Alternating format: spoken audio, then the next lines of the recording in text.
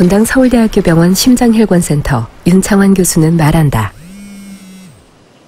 병원을 거치지 않고 의사에게 바로 연락이 온다면 1초의 생사가 나뉘는 급성 심근경색 환자의 치료 시간을 단축할 수 있지 않을까.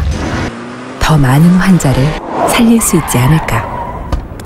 그래서 시작된 윤창환 교수의 한라인 재능 기부. 경기도 일대 다른 병원들에 자신의 한라인 연락처를 남기고 24시간 언제라도 달려간 결과 지난 5년간 야간 급성 심근경색 환자의 치료 시간은 30분 이상 앞당겨졌다. 사람들은 말한다.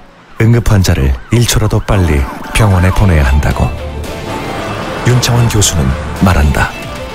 의사야말로 환자보다 빨리 병원에 도착해야 한다고.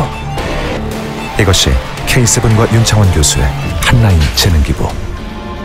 이것이 K다운 생각. Designed by K7.